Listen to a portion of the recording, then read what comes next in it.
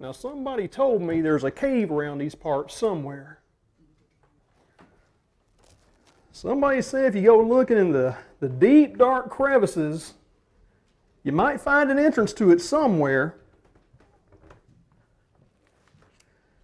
Has anybody seen a cave around here? Anybody? Betty, have you seen a cave? No.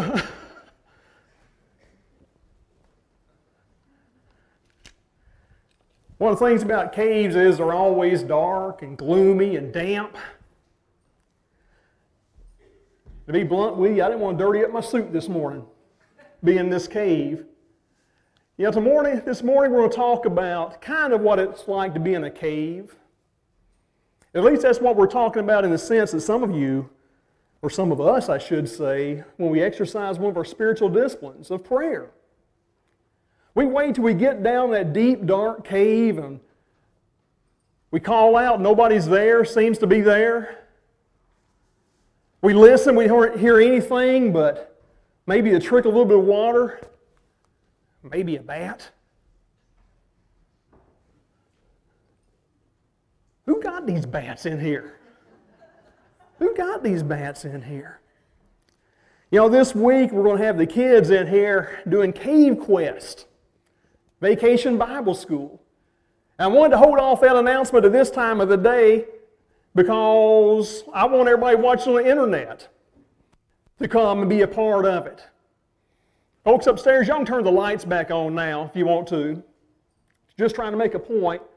I wish you could have made this announcement about 10 o'clock at night when it'd be really dark in here and all the lights be out and, and nothing glowing except the eyes on that bat. But then again, if you have any kind of sense at 10 o'clock at night, where are you at? In bed. In bed. But Cave Quest, Vacation Bible School, we're going to have the kickoff at 5 o'clock this evening. The, re- the registration begins at 5. The, the festivities begin about 5.45 with a meal across the street. And then the, the events themselves begin at 6.25 over here, I believe. So looking forward to that. So kids of all ages, internet, if you're you get to see this, this will be online. By the time this comes online, we'll already started, but it's not too late for you to be a part of it. We love to have you here at Buffalo Baptist Church Vacation Bible School. This morning we're talking about prayer. Go ahead and turn the screen on to that. The title of the message is And When You Pray. And When You Pray. By the way, how do you like my rope for cave dwelling? I, I anytime, uh, that, that a, a rope that's used to tie a boat to a dock can surely be used for exploring a cave. Am I right? Can you get amen in the house?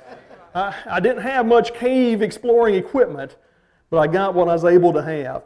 This morning, as we we continue in the study of the Sermon on the Mount, Matthew chapter 6 is where we're at. If you'll make your way there.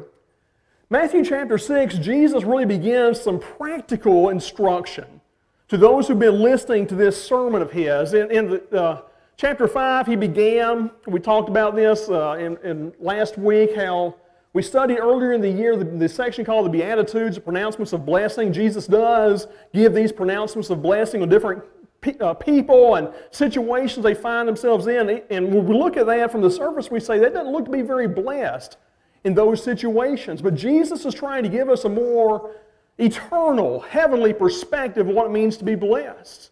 And then after that, he goes into talking about relationships and, and what it means to be a disciple, etc. In, in the balance of chapter 5. Well, in chapter 6, he really begins this practical application, if you would, this practical exhortation, things we can do to put our faith to work. Last week, we took a look at how we call it being a kingdom MVP. And that an MVP is somebody who, who makes a huge contribution, although they're not necessarily the best player on the team, so to speak. That each of us can make a huge kingdom contribution, keeping in mind that it's not about us. We're not seeking after notoriety or our name to be, to be recognized. We're not seeking any reward from a human perspective. What we're looking for is to, to honor God, to bless God, and glorify the name of Jesus Christ. And when we do that, we can be a kingdom MVP. This morning, what's that?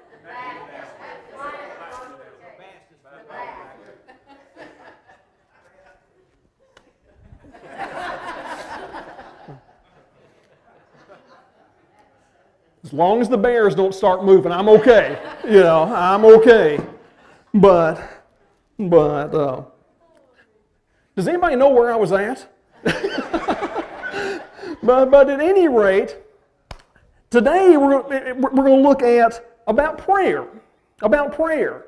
Matthew chapter 6, beginning in verse 5, Jesus gives us some really practical instructions on prayer.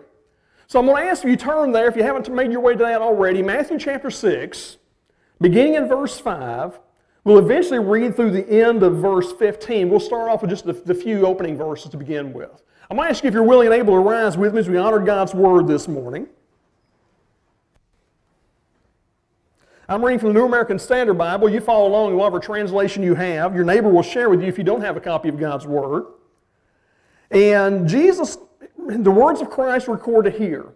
And Jesus says, beginning verse 5, when you pray, you are not to be like the hypocrites, for they love to stand and pray in the synagogues and on the street corners, so that they may be seen by men. Truly I say to you, they have their reward in full. But, when, but you, when you pray, go into your inner room, close your door, and pray to your Father who is in secret. And your Father who sees what is done in secret will reward you. Verse 7 And when you are praying, do not use meaningless repetition as the Gentiles do, for they suppose that they will be heard for their many words. So do not be like them, for your Father knows what you need before you ask Him. We'll pause right there. May the Lord add His blessing to the reading and hearing of His word. You may be seated. You may be seated. One of the things that stands out to me about this passage is when we read this, when Jesus is giving these practical instructions on prayer, he does so with a supposition. He is already assuming that something is taking place. The words as he uses it three times verse 5, verse 6, and verse 7. He uses the phrase or derivation of it, and when you pray. And when you pray. Jesus is assuming that we are already praying. Jesus is assuming that that is a practice we've already embraced. Jesus is assuming from these words that we already have some type of a relationship with God the Father where we pray to Him. And the implication is if you do not have that relationship, you need that relationship. And when you have that relationship, certainly you will want to, to nourish that relationship by maintaining an ongoing prayer relationship. So I believe one of the first things Jesus tells us, this is not in your notes, is, is that if you do not have an active prayer life, you need to begin so right now. Amen? You need to spend time with God the Father. You need to spend time with God the Father. Michael or Jonathan, I'm going to put you to the task. I forgot to get my flipper. So I'm going to tell you when to advance the screen. Okay, I forgot to get it from the back room back there. But, but the, the outlines included in the context of your bulletin, we're going to begin with point number one right now. Jonathan, go ahead and make that screen. Contrary to what many people think, there is a wrong way to pray. Contrary to what many people think, there is a wrong way to pray. When we look at this passage and the words of Christ, when he's exhorting those people on the banks of the Sea of Galilee back in the first century, back really towards the beginning of his ministry there, is recorded in the Gospel of Matthew. And he's talking to these people. Certainly there are some in there who, who did have a prayer life, but it's not what it should be. Certainly there were some who were there who had a, a prayer life which was not effective. There are certainly some in that room or that, that gathering that day, some in this room even today, when, the, when they prayed, they wondered why they seem to get no response from God for it. Now, don't get me wrong. I do not believe that everything we pray to God for, He will answer the way we want it. Amen? You, you ask those prosperity gospel preachers, they will tell you, you know, you just pray the right way, you do the right things. Of course, you give their ministry and you will be blessed financially. I am not one of those. I am not one of those. In fact, in my own life, I have found that God oftentimes, when He answers my prayer, it's just the opposite of what I was hoping He would tell me. And I'm sure many of you have found that the case as well. But there is a wrong way to pray, and Jesus begins talking about that in verse 5. The first example He gives is of people who are, and He calls them hypocrites. And He says, Don't be like the hypocrites. And this is what the hypocrites do. And he talks about they go outside, they find a street corner, obviously a busy part of town, uh, a, a, bustling uh, activity going on. They stand there, they want to appear righteous before men. So they stand up and with some kind of eloquent voice and a loud projecting tone, they're able to, to say these words. And, and what they're really hoping for is what? Are they really praying to God? Is that what they're looking for? What is it Jesus says they're looking for? the attention of man. They're looking for the attention of man. And that's point, the sub point number one. Jonathan advanced that. Sub point number one is a wrong way to pray is when your prayer is simply intended more to be heard by man than by God. If you are just praying in a way to appear righteous before man, and maybe, maybe even you're praying to God and you're using some, some great type of of uh, uh, expressions or whatnot, and, and, and, you're trying to convince God you're righteous, that, that ain't going to cut it, folks. God knows what's in the heart. Amen? And your prayer has to reflect what is in your heart. If your prayer is just to make you appear to be righteous or, or more faithful or, a, a better Christian than you really are, God's probably not going to honor that prayer. Jesus says that is a wrong way to pray. Subpoint number two there is it depends on lofty words or repetition. Jesus talks about that in verse 7, where he says that, that uh, do not use meaningless repetition as the Gentiles do, for they suppose they'll be heard for their many words. There's not a set vocabulary for prayer.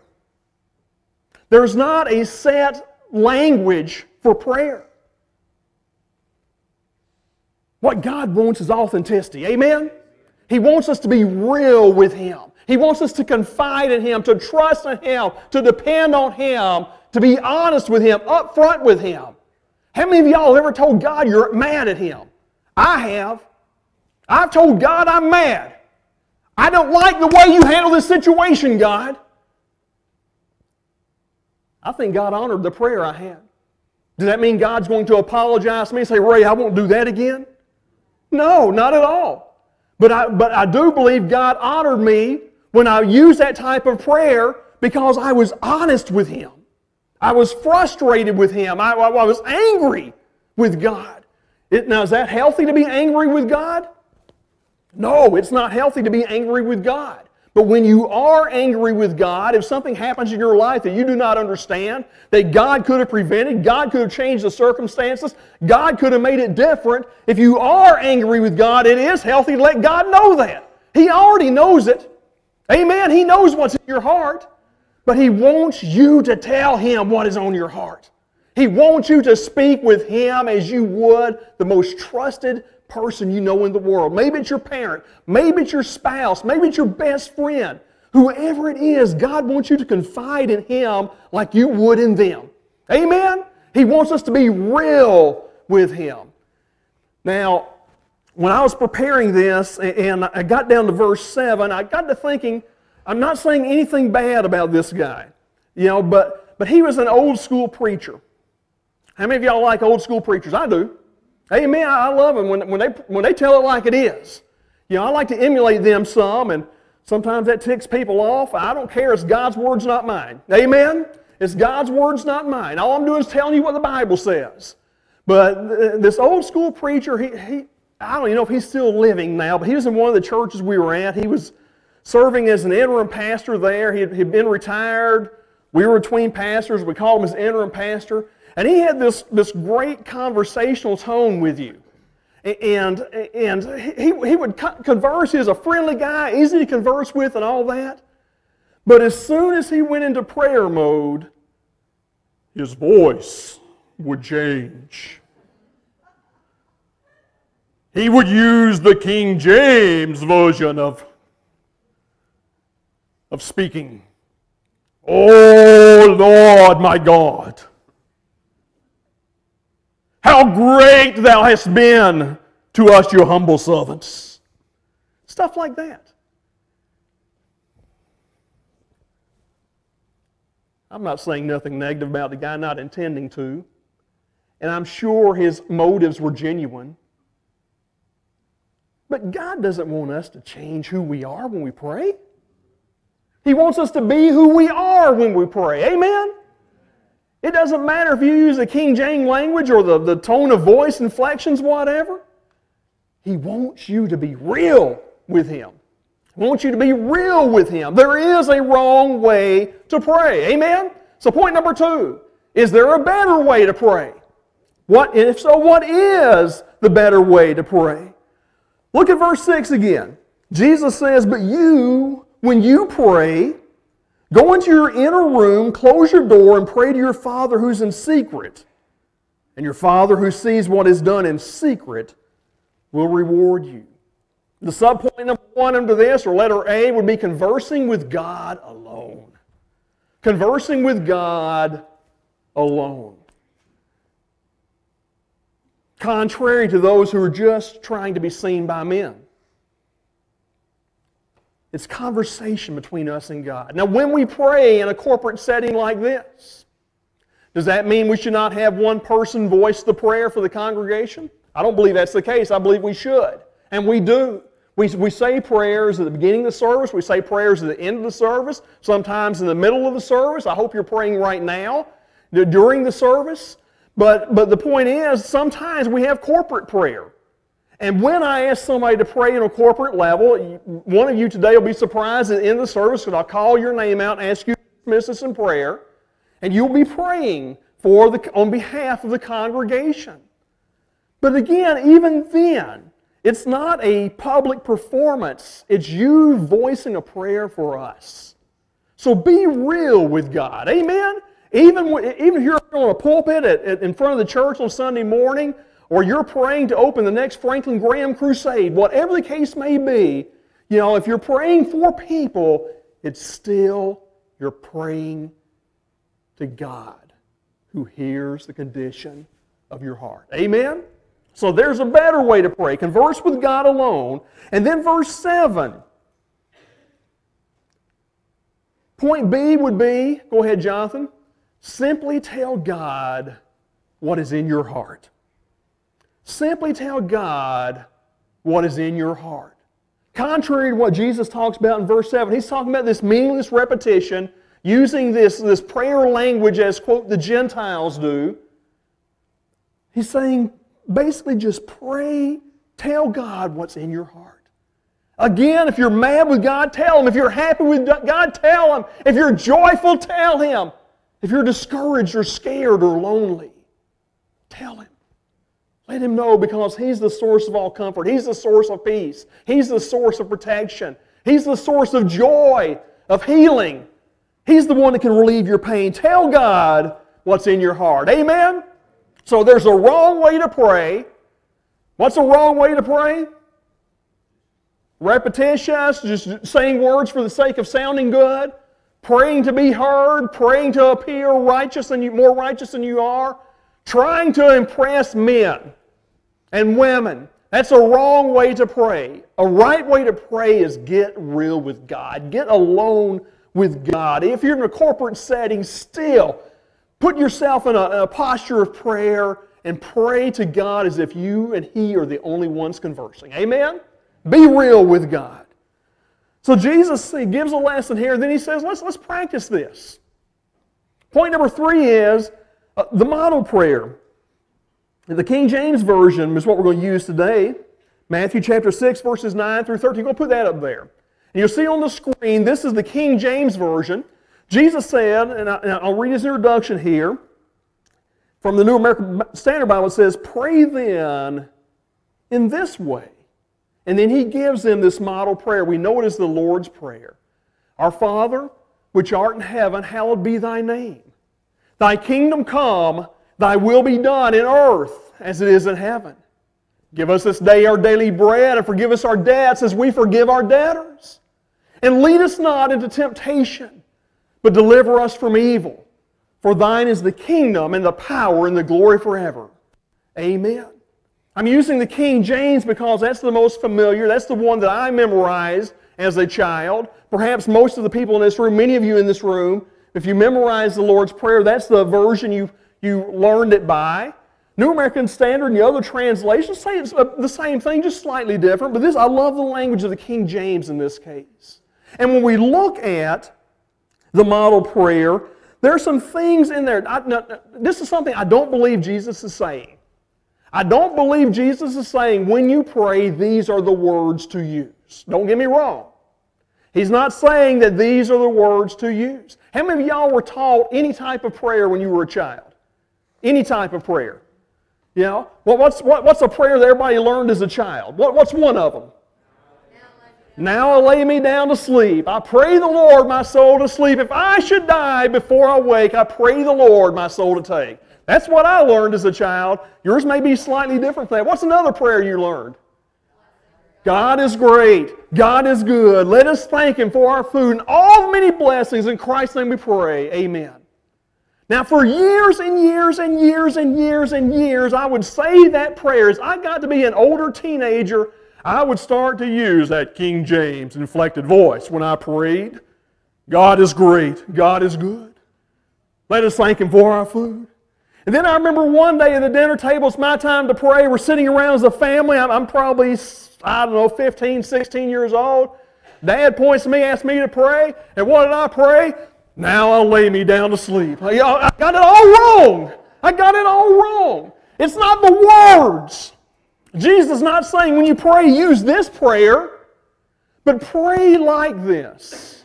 Pray like this. Some of the things we can take from the Lord's Prayer. Point number one is this worship God. The prayer begins Our Father, which art in heaven hallowed be thy name. What's that mean, hallowed be thy name? What's another way of saying that? Your name is holy. You are holy. God, you are holy. You are worthy of worship. Jesus is saying we should worship God in our prayers. You agree with that? I certainly do that we should some, take some matter of time and effort and devotion to worship God even when we're praying. Even when we're in the deepest, darkest cavern or cave. We're scared for our lives. We're lonely. We're lost. We're in despair. We're hoping to be rescued, salvation. Even then, we can worship God. Amen? Worship God. So, a model prayer, part of that is worshiping God. Okay? Point B, Jonathan, pray for God's will to be done. What's the Lord's Prayer say? Thy kingdom come, thy will be done in earth as it is in heaven. Praying for God's will. Praying for God's will. Just this past Friday, Robin and I made an unplanned, unscheduled, spur of the moment trip to Durham, North Carolina. A friend of mine up there, he served in the, still serves in the first church I pastored, Bahama Baptist Church, a man by the name of Don Cook. On Thursday, as I'm looking at Facebook, I noticed that two of his grandchildren posted on Facebook under his name that previously he had been given three to seven days to live three to seven days. Don had cystic fibrosis. Is that what it is, you medical people? Is that the thing of your lungs? Am I correct? What, but he had to have a double lung transplant. And he had this double lung transplant in, in the year 2014. And all was going well until very recently. And now, two years after the transplant, his body is rejecting his lungs. His body is rejecting his breath the doctors looked and they, they, they did all their testing and everything. They came to the conclusion and they told him, so there's nothing more we can do for you. And we expect within the next three to seven days you will perish from this life. Well, that was on, I didn't learn about that till day seven. So we went and saw Don on day eight, day eight of this prognosis. We spent some time with he and his wife, Laura. Beautiful couple, wonderful people, faithful men and women, or man and woman of, his, of God, servants in the church, love them dearly. And, to, and we spent some time with them reminiscing and just talking, and at the end we prayed with them. And part of my prayer is God, we don't know what you got planned. We have no idea. The doctors tell us it's hopeless. I told Don, or I said in the prayer, I says, God, until you make it clear otherwise, we're going to pray for healing. We're going to pray for some type of a miracle. I says, God, until you make it clear otherwise, that's what we're going to pray for. But in any case, we trust you, God. We depend on you, God. Our faith is in you, God. And whatever your will is for Don and Laura, that's what we want to pray for. So we pray for God's will. And sometimes that's a hard prayer to pray for. When we have a loved one, a parent, a child, a spouse who is deathly ill, all we want to pray for is healing. And that's what we would want. Amen. If we were God, that's what we would do. We'd bring healing. But God doesn't always bring healing. I think of the story of Lazarus and how when Lazarus was sick, Mary and Martha, his sister, sent word to Jesus. Said, Jesus, the, the one whom you love, is ill, very ill. They knew that Jesus could bring healing. They had seen Jesus heal people. They had seen Jesus take the blind man and give him sight. They had seen Jesus clean the leper, take the lame person, help him to walk. They had heard that Jesus had even risen, taken somebody and rose and gave him life again. And they knew that if anybody could save their brother, it was Jesus. So they called for Jesus to come. But Jesus didn't come, at least not right away. When Jesus did finally come, Lazarus was already dead. You know the story. Lazarus is dead. He'd been in the tomb for four days. Mary or Martha said to Jesus, said, Lord, if you would have been here, my brother would live. And Jesus said, He will rise again. Well, she thought he was talking about the, the resurrection of the end times. The other sister comes out there, Mary, and they're weeping terribly, and Jesus basically says, Go to the grave. Goes to the grave and tells, tells them to roll away the stone. Then he prays to heaven.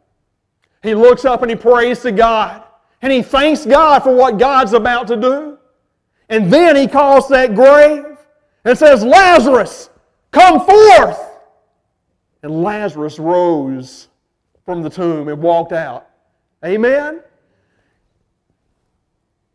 His will there was to bring Lazarus to life. And oftentimes we pray, God, if you did it for Lazarus, why can't you do it for us?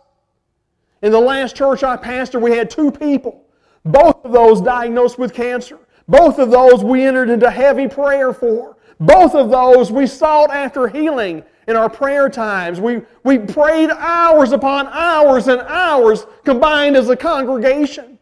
One person was, was, was cured of their cancer, declared cancer free.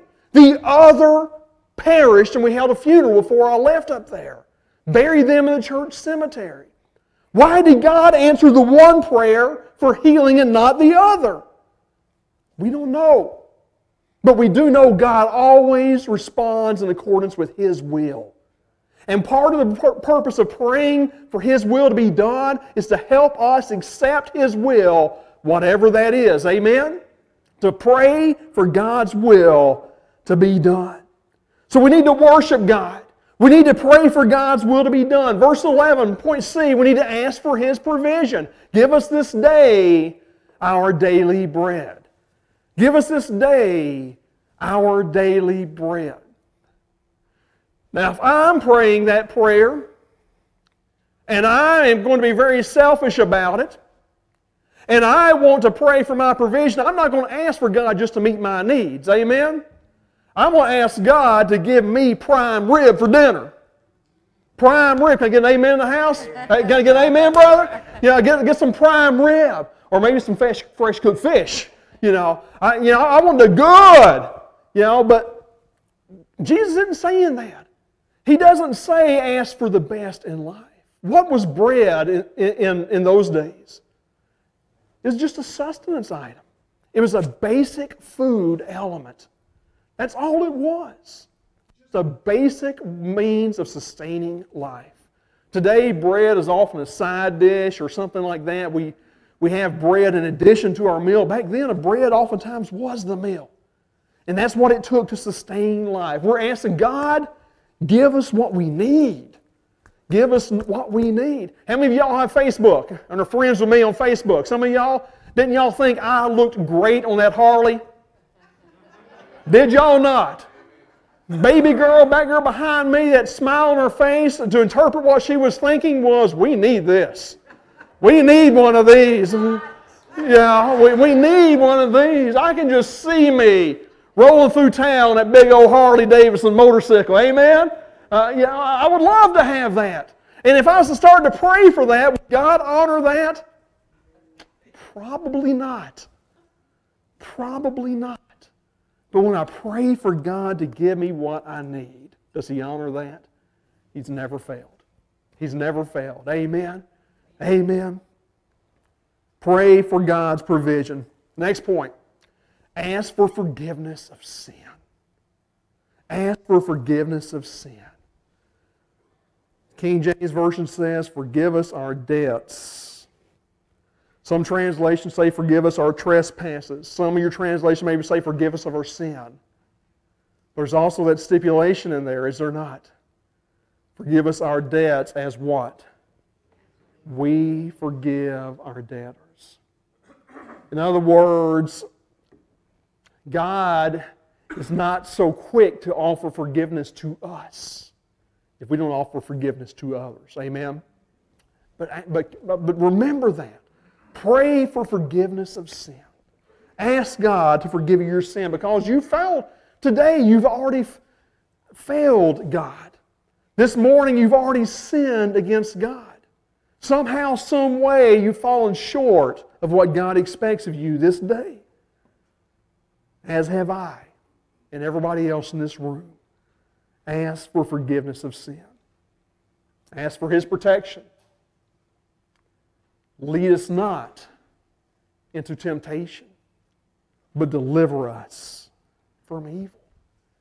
Ask for Him to protect us from the long tentacles of sin and the temptations that are out there in our lives. Each of us has different temptations, and we need to pray for God to, to let us be strong when we face that. Will we face those temptations in life? Certainly will. We will face them on a daily basis, more than likely. We need to ask God for strength there. Lead us not into temptation, but deliver us from evil. By the way, God never tempts you. When you are tempted, it is not of God. It is only of the deceiver, Satan himself. Amen? You know, God does not tempt you. Ask for his protection. And then finally, verse 13